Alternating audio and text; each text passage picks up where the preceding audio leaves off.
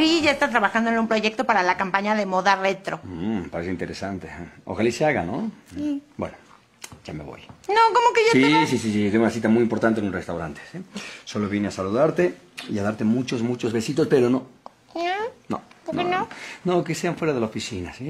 Es un poco incómoda la situación, no hagas eso. ¿Sí? Y más por don Fernando. ¿Eh? No, no, ya. No.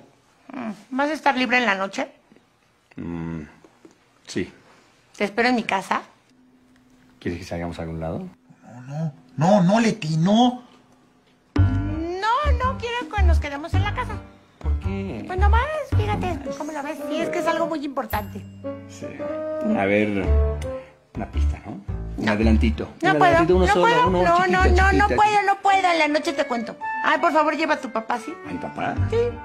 Bueno, una pista chiquita, chiquita. Dame un besito chiquito, chiquito. Mm, ¿La pista? No te digo. ¡Ay, qué tramposa eres! Bueno, Adiós. Adiós. Muy seria, muy, muy, muy seria. Algo se trae. Algo.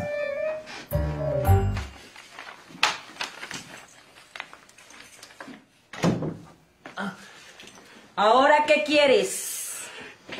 Chiquita, me costó mucho trabajo, pero convencí a mi mamá para que te dé otra oportunidad. ¿Y? Ja, por favor, nada más eso me faltaba. Dile a esa señora que yo no le voy a dar la oportunidad a ella. Ay, ay, chiquita. Eh, eh, anoche estuve pensando, Tomás, y... Olvídate de la boda, ¿eh? No quiero. Oye, Alicia Ferreira, no creo que tomar una decisión apresurada sea una solución. No, si no es apresurada. Lo estoy pensando desde mucho antes de conocerte. Ay, eso no es posible. Pues antes de conocerme ni siquiera habías pensado en casarte conmigo. ¿Sí? Don Tomás, Leti quiere verlo en su oficina.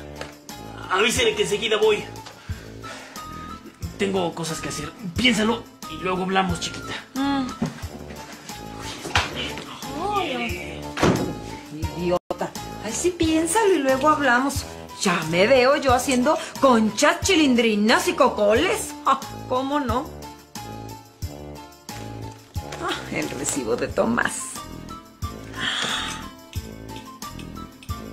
¿Tanto gana el desgraciado por su vicepresidencia en conceptos?